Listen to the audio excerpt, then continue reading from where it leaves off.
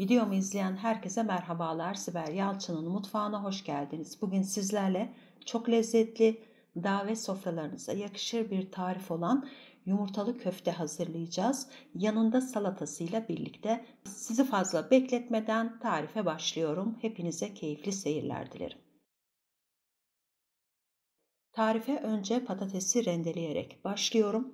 Genelde tarifte sebze kullanıyorsam ve bu sebzenin büyüklüğü önemliyse adet bilgisiyle birlikte gramajını da yazmaya gayret gösteriyorum. Zaman zaman unuttuğum olabilir ama unutmazsam mutlaka tartarak malzeme listesinde hem adet olarak hem de gramaj olarak sizlerle paylaşıyorum. 3 adet orta boy patates 600 gram kullandım. Patatesin kabuğunu soyduktan sonra rendenin iri tarafıyla patatesi rendeledim.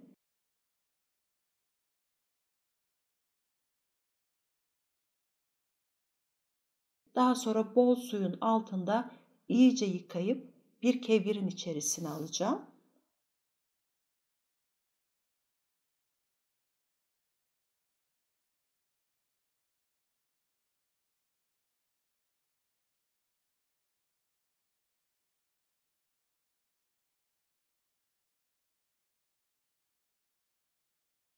Kevgirin içerisinde bir 5-10 dakika kadar beklettikten sonra çok iyi bir şekilde patatesin suyunu sıkmak gerekiyor. Burası önemli yoksa köfteniz parçalanır. Çok iyi bir şekilde patatesin suyunu sıkıp köfteyi hazırlayacağım kasenin içerisine aldım. Bir iki diş sarımsak, benim kullanmış olduğum sarımsak büyüktü. O yüzden bir diş sarımsak kullandım. Bir diş sarımsağı sarımsak eziciyle patatesin içerisine patatesin içerisine koydum. İsterseniz rendenin ince tarafıyla rendeleyebilirsiniz. Bu arada bir tane kuru soğan kullanıyorum.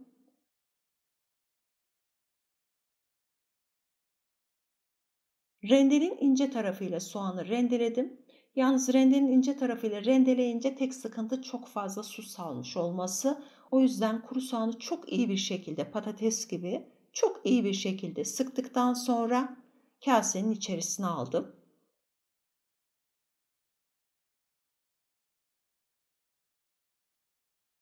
Lütfen püf noktalarını kaçırmamak için videoyu sonuna kadar izleyin.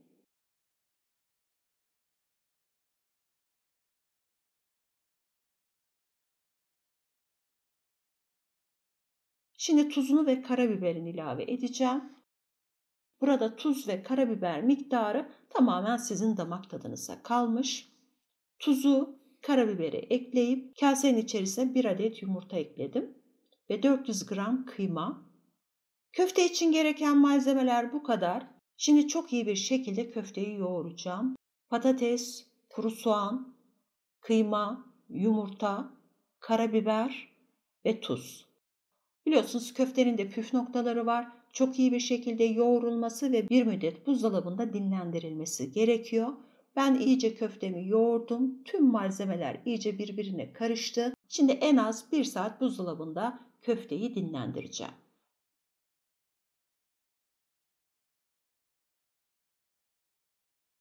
Köftem iyice dinlendi. Şimdi şekil vermeye başlıyorum.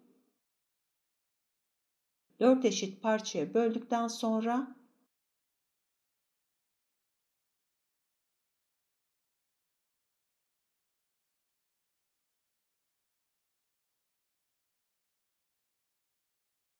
Gördüğünüz gibi elimle biraz oval bir şekil verip yağlı kağıt sermiş olduğum tepsiye aldım.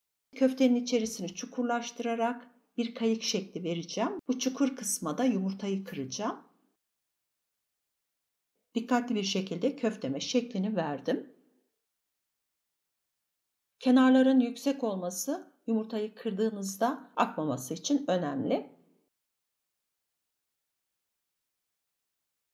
Hazır köftem şimdi bir 30 dakika kadar 180 derecelik fırında kızaracak. Bir taraftan salatayı hazırlayacağım. 4 kişilik bir salata hazırlıyorum. Salatalığın tamamen de kabuğunu soyabilirsiniz veya benim yaptığım gibi alacalı olarak kabuğunu soyduktan sonra iri küpler halinde ben doğradım.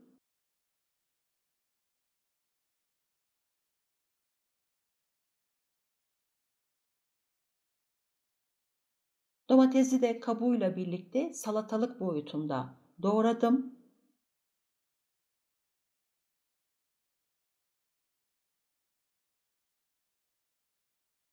Bir adet köy biberi veya charleston biber kullanabilirsiniz, sivri biber kullanabilirsiniz. Evde hangi biber varsa onu da yine aynı şekilde salatalık ve domatesin boyutunda doğradım.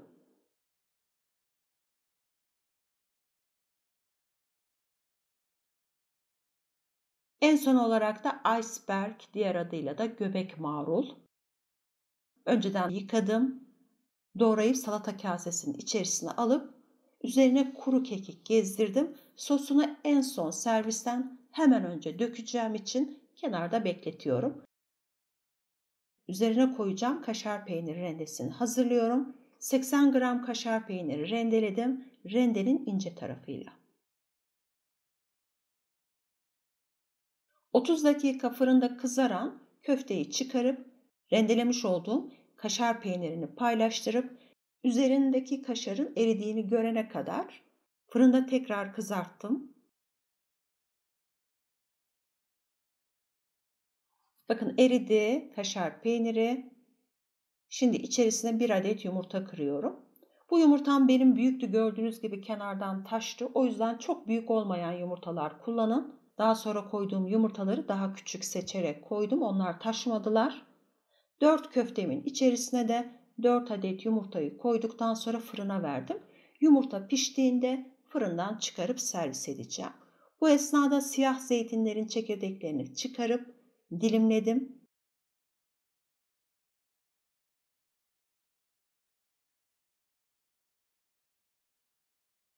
Limon suyu, zeytinyağı ve tuz. İyice karıştırdım. Yumurta pişti, köfteleri fırından çıkarttım. Şimdi salatanın sosunu döküp tüm malzemeyi iyice harmanladıktan sonra köfteyi ve salatayı servis edeceğim. Salataya aşırı limon ve zeytinyağı koymayın. Yoksa köftenize bulaşacaktır o zeytinyağı ve limon suyu.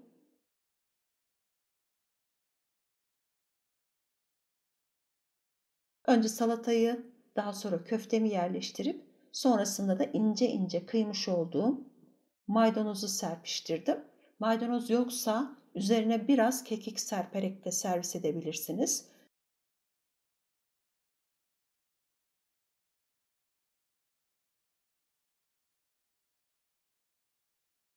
Videoda gördüğünüz gibi köfte ve yumurta gayet güzel pişti. Artık afiyetle yiyebiliriz. Yapıp yiyen herkese şimdiden afiyet olsun. Bir dahaki videoya kadar kendinize çok iyi bakın. Sağlıkla, sevgiyle kalın. Allah'a emanet olun.